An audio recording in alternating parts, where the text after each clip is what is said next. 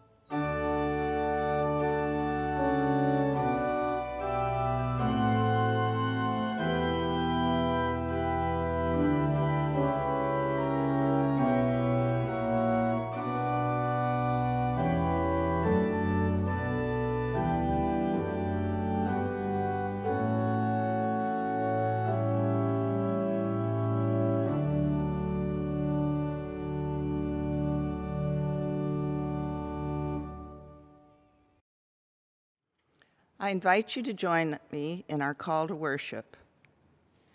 Jesus comes to us, showing us how to do the unlikely. Come, Jesus says, trust God.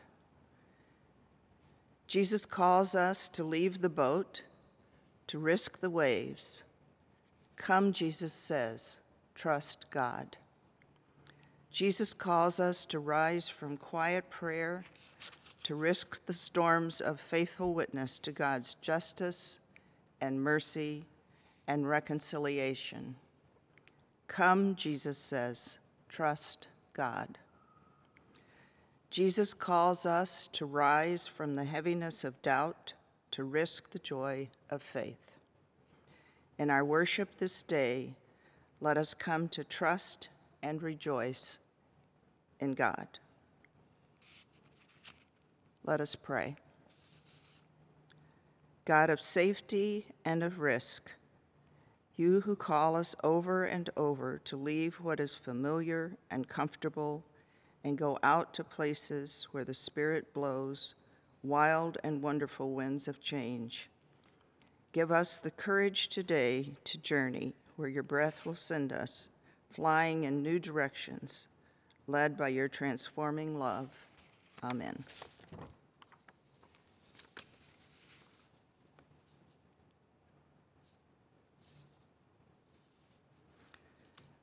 Please join in our prayer of confession. There are times when we feel cast down, lost in deep places, abandoned and alone.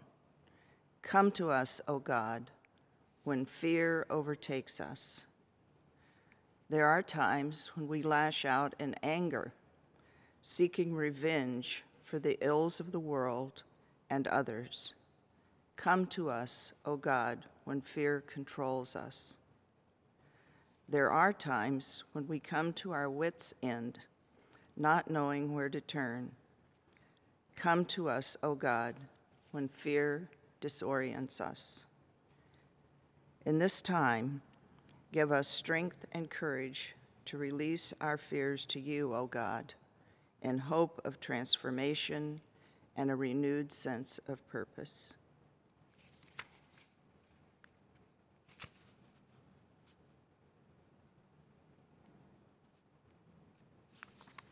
Gracious God, hear our prayers. Amen. Hear this good news of grace. God does not abandon us to our fears. God comes to us, God journeys with us, and God can be trusted even when all seems lost. Friends, receive this good news. We are forgiven and made whole be at peace with God and with one another. Thanks be to God. Amen. The peace of Christ be with you and also with you. Hello! I want to talk to you a little bit about how we can give to others. When we are in a church, you might see the adults pass around our offering plates. And sometimes they put in change and money, and sometimes they put in envelopes that maybe has a check in it. Sometimes they use their credit card and do it online, which we now have that option. Sometimes they don't have money to give, and so they offer up other ways to give. You can give to your church in all, in all kinds of service ways. You can help plant flowers and rake leaves and pull weeds outside. You can help clean and serve as ushers and greeters, sing in the choir, help with the children and youth ministry, teach a Sunday school class. There's all kinds of ways that we can serve. You can help cook a meal for other people. When we do those things, we are a blessing to other people. When we're pulling weeds outside, it's not for the people that go to our church to see, it is for all of our community to see what a wonderful place we have in our church. When we click on the link and we see our worship service and we see all the people who have volunteered their time to do a liturgy, to do a children's message, to preach the sermon, to sing a song, to play the piano or the organ, those people are blessing others' lives. And they themselves have been blessed by God. I have been blessed by countless emails from friends and family from far away that are watching our, our services. I have been blessed by my own family, by friends in different ways. And sometimes we're hearing God say, You are blessed, in times that we don't always feel blessed, especially right now. It's hard to hear God saying, Look at the blessings around you when we're feeling like everything's been taken away from us right now. It's hard to notice the good things in life when things look bad. We know that God is out there. He is blessing us every single day with breath of life. And He wants to bless us so that we can bless others. So I want to hear from you. How can you be a blessing to other people? And how have you been blessed in the last couple weeks? Hello, girls. How have you felt blessed lately? I have been feeling blessed by God when I am reading books. I feel blessed when I get to play with my friends socially this time. And how have you been a blessing to others? I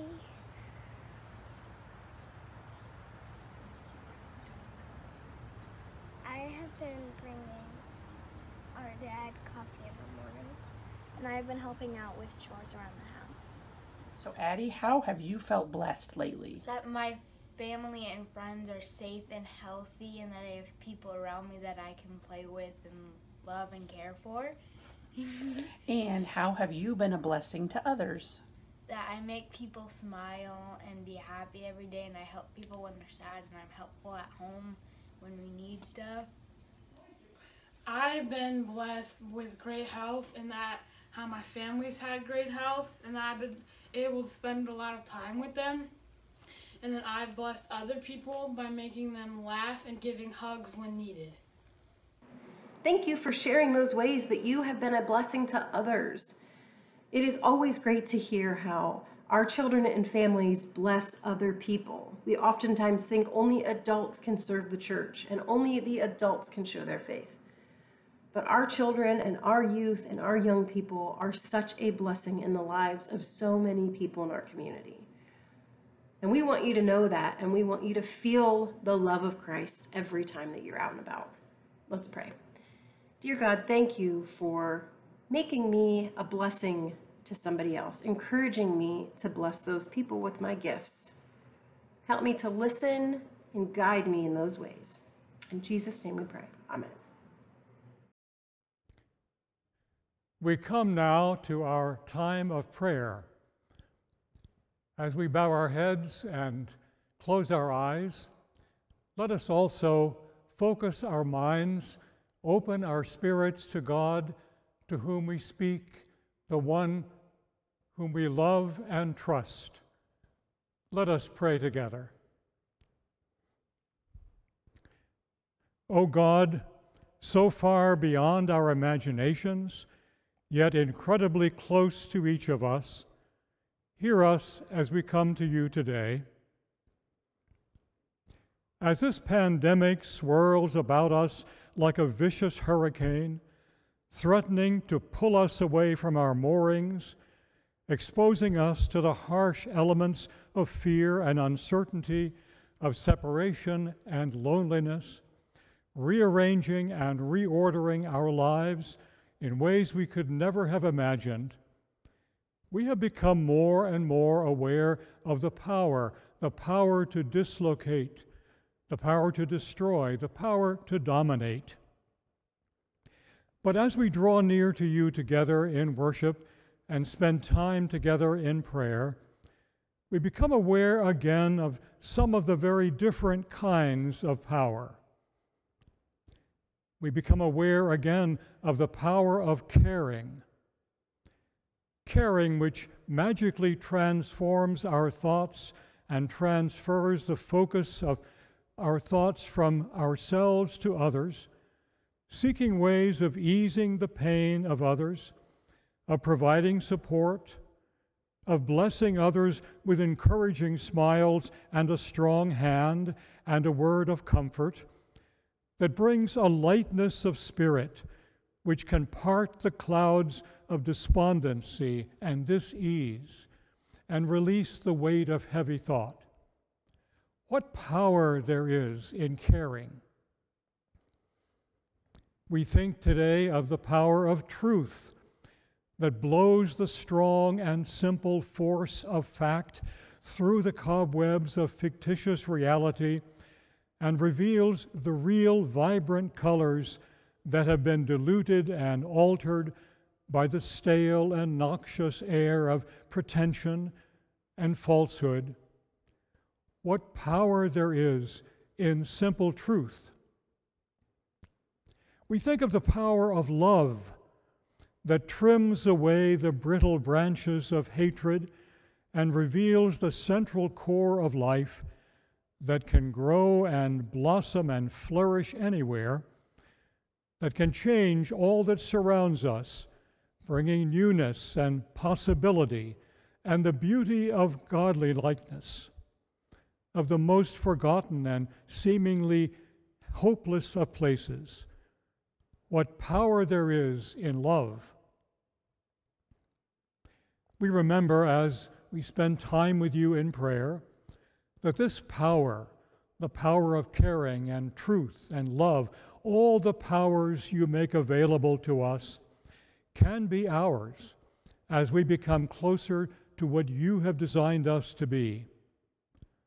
All around us, even in the most destitute of places, in the most difficult of times, even among us, especially among us, there are budding saints people who have caught the life giving, life loving, life saving, divine bug that we all have within us. Leaning on each other, learning from each other, sharing with each other, we learn to see through the imperfections that we all possess. Learning from your son, we develop eyes that see beyond the skin deep differences the cultural disparities, the age dissimilarities, all the interesting but unimportant distinctions, to see to the core of our beings, where we have set our course to become ever more faithful disciples of our Lord, letting go of all that separates us from our Master, dropping along the way all the silly and sinful inclinations and holding on to each other in this great fellowship of followers as we move on our way through this difficult and life sucking pandemic with the promises of our God as our guide. We hold before you today the family of our beloved Mary Jane Bean, as we remember in your presence Ken Starling and all members of this who have special need today. Depending on your presence among us, we remember today the ancient words of wisdom from the prophet Isaiah, who reminds us again that while we will not be saved from the difficulties of life, we can depend on God to be with us always, helping us to live faithfully, usefully, victoriously. Thus says the Lord the one who created you, O Jacob, the one who formed you, O Israel. Do not fear, for I have redeemed you. I have called you by name. You are mine. When you pass through the waters, I will be with you, and through the rivers, they shall not overwhelm you. When you walk through the fire, you shall not be burned and the flame shall not consume you. This, gracious God, this we believe, and this we proclaim as we pray in confidence the words we learned as children and have repeated throughout our lives, the words Jesus teaches us again today as we pray in our separate homes, but together as one family. Our Father, who art in heaven, hallowed be thy name. Thy kingdom come, thy will be done on earth as it is in heaven.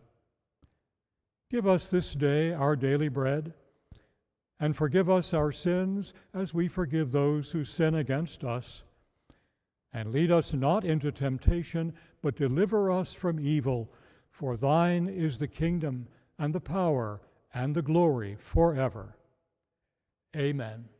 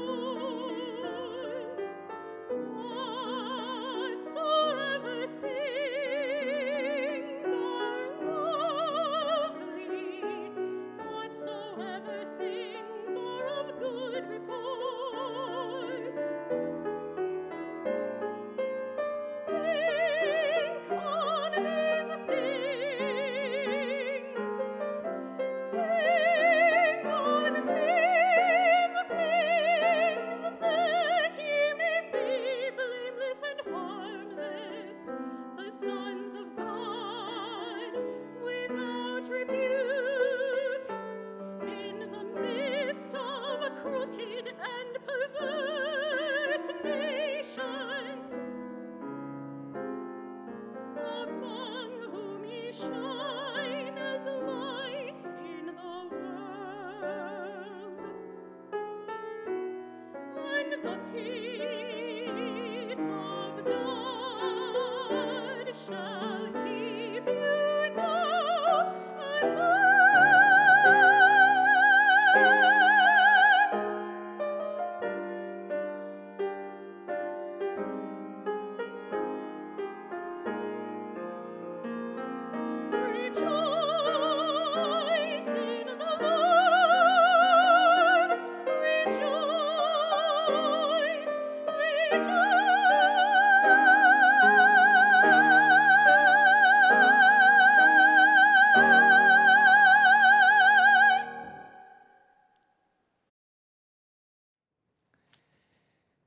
The gospel lesson for today comes from the 14th chapter of the gospel according to Matthew. And the 14th chapter is uh, full of, uh, well, it has two stories that are very well known if we uh, read around in our gospels. And it starts out with uh, the murder, execution, if you will, of John the Baptist. Then it moves into the feeding of the 5,000 and closes with our passage for today, which is known as Jesus Walks on the Water. So I invite you to join me as we begin Matthew chapter 14, verses 22 through 36. Immediately, Jesus made the disciples get into the boat and go on ahead to the other side while he dismissed the crowds. And after he had dismissed the crowds, he went up the mountain by himself to pray. When evening came, he was there alone. But by this time, the boat, battered by the waves, was far from the land, for the wind was against them. And early in the morning, Jesus came walking toward them on the sea. But when the disciples saw him walking on the sea, they were terrified, saying, It is a ghost. And they cried out in fear. But immediately, Jesus spoke to them and said, Take heart, it is I. Do not be afraid. Peter answered him, Lord, if it is you, command me to come to you on the water. Jesus said, Come. So Peter got out of the boat, started walking on the water and came toward Jesus. But when he noticed the strong wind, he became frightened, and beginning to sink, he cried out, Lord, save me. Jesus immediately reached out his hand and caught him, saying to him, You of little faith, why did you doubt? When they got into the boat, the wind ceased, and those in the boat worshiped him, saying, Truly, you are the Son of God. When they had crossed over, they came to the land of Gennesaret.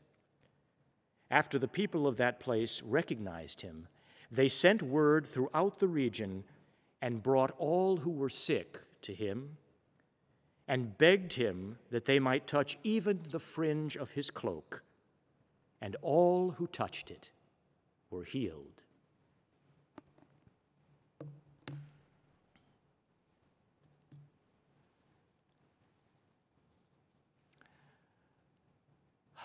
Well, what can we think after entering our sixth month of pandemic meltdown? So far, I haven't heard of infection touching our immediate circle, but we can't see how close it is hovering. To me, these months have evaporated, but I can't feel that I have much to show for it. Thankfully, the weather has been, for the most part, fair here in Northeast Ohio. But I realized this past week that I only need three to five rainy days to plunge me into a weather depression. We all have family and vacation destinations that we are desperate to visit. And yet we recognize that any wider contact, contact has serious risks. And through all of this, summer is passing too quickly through our fingers, and the anticipation of fall brings its own unknown threats. I don't suppose I am, I am alone in these feelings. Summertime usually has a special quality about it. With its warm sunshine and lengthy days stretching into leisurely evenings, its anticipated vacations and visits with relatives, the memories of carefree youth gone by. I suspect many of us have more than a touch of sadness at this summer's passing.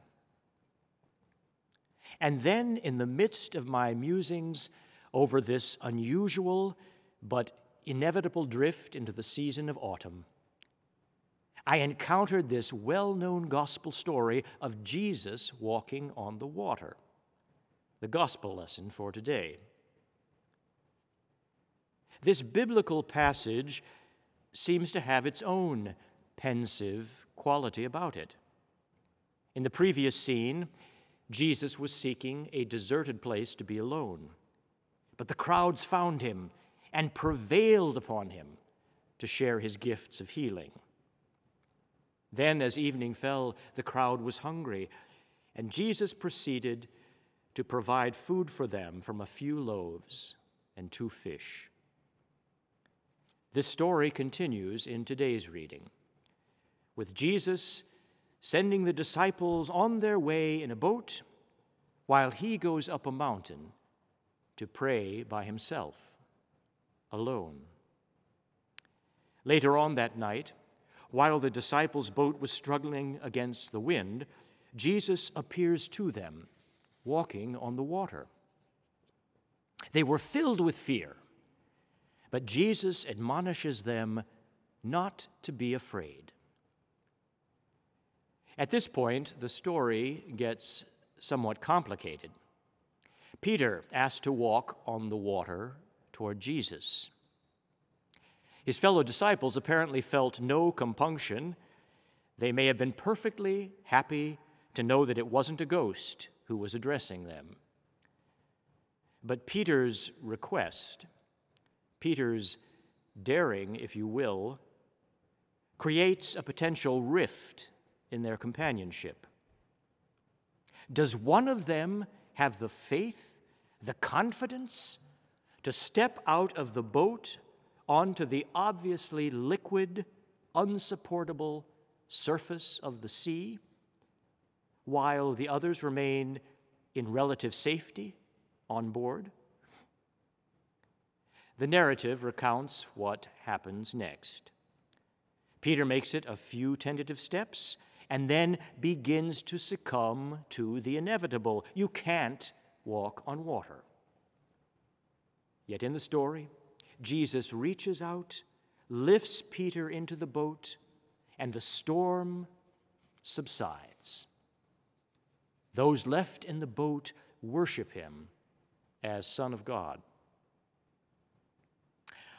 All of this leaves me wondering what we might make of this that could have any relevance to our lives. Perhaps we begin by digging deeper, moving beyond a simple, improbable miracle story about someone walking on the water. There are two other biblical accounts of this scene that occur in the Gospels of Mark and John. But neither of those two gospel stories include the dialogue between Peter and Jesus. Peter does not step out of the boat. So, left with Matthew's singular telling, where might we find a word for us? The story begins with Jesus seeking a time and a place for solitude and prayer or meditation. In contrast to Jesus' example, our contemporary lifestyles are usually saturated with demands on our time. From family commitments to work requirements to social obligations and desires. Recovering some space in our schedules for quiet, for reflection, for contemplation could bring healing and wholeness to our spirits, our health, our relationships. The biblical narrative then moves to the boat. Storms and rough seas are familiar to us as we gav- navigate the known and unknown waterways of life, especially in these pandemic times. We should be grateful for fellow travelers like Peter, who are always ready to dive into the waters that swirl with uncertainty.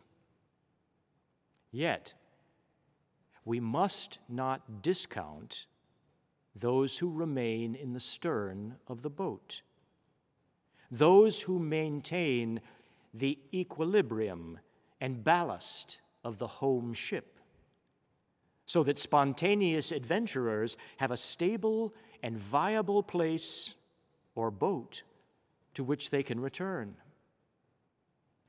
In this parable story for today, both the one jumping overboard and those who stayed behind experienced a calming of the storm and a safe landing on shore. Perhaps there is a message here of gospel good news for us today. There are some of us who are called to leap off the boat into the royal, roiling waters of injustice and profound need to save all those that can be reached. And there are others of us who are called to stay in the boat to help those who need to be pulled aboard and given a towel and dry clothes and some water and provisions. As this narrative concludes, the storm was calmed for all. They made landfall safely, and gifts of healing were brought to desperate people who lived beyond the privileged confines of the chosen ones. In the end, we are all invited to take our places and to do the work to which we are uniquely called, knowing that time and space will shape that work as we journey through life. And speaking of our own journeys, poet Mary Oliver offers this profound insight in her poem entitled The Journey. One day, you finally knew what you had to do and began, though the voices around you kept shouting their bad advice, though the whole house began to tremble and you felt the old tug at your ankles. Mend my life, each voice cried. But you didn't stop. You knew what you had to do, though the wind pried with its stiff fingers at the very foundations, though their melancholy was terrible. It was already late enough, and a wild night, and the road full of fallen branches and stones. But little by little, as you left their voices behind, the stars began to burn through the sheets of the clouds, and there was a new voice which you slowly recognized as your own, that kept you company as you strode deeper and deeper into the world, determined to do the only thing you could do, determined to save the only life you could save.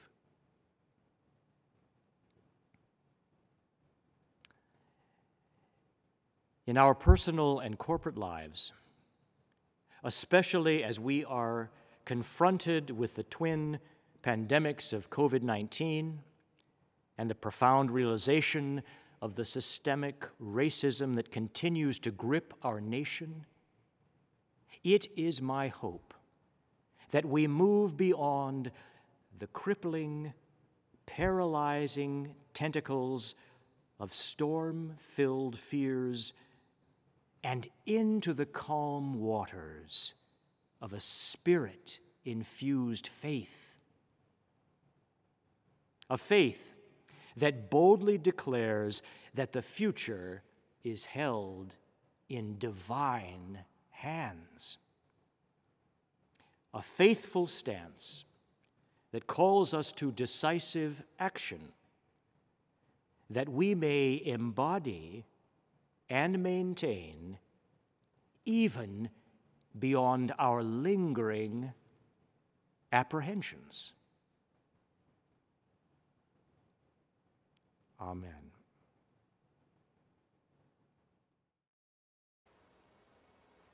Echoes of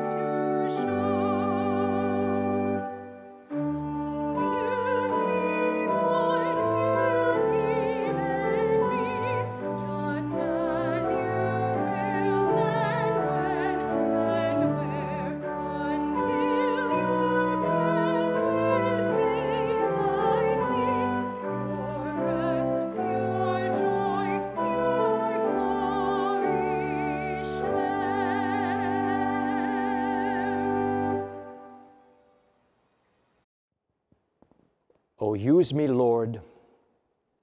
Use even me. Wherever you will, and when, and where. I hope as we continue our journeys of faith, together individual, I mean individually and together corporately. I hope that we will sense that we're finding our places.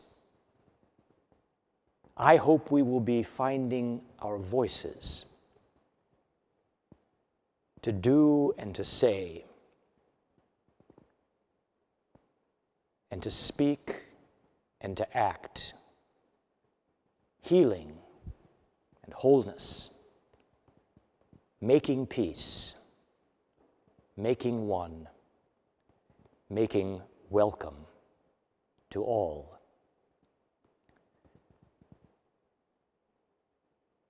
It is in this season when we are so impinged upon by the fear of a deadly disease we still know so little about and certainly cannot predict. When we are struggling mightily as a country and a society with the endemic racism that we must work, we must work to undo. Not only for our sakes, but for the sakes of the future generations that follow us. Let us step up. Let us truly pray the Lord will use you even me. As you leave the sanctuary this day, go knowing that you are embraced in the steadfast love of God forever, that you are redeemed in the grace of Jesus Christ now and always, and that together we are being empowered for faithful witness and loving service this and every day of our lives. And may God's hope, peace, joy, and love enfold you this day and carry you through the week. Amen.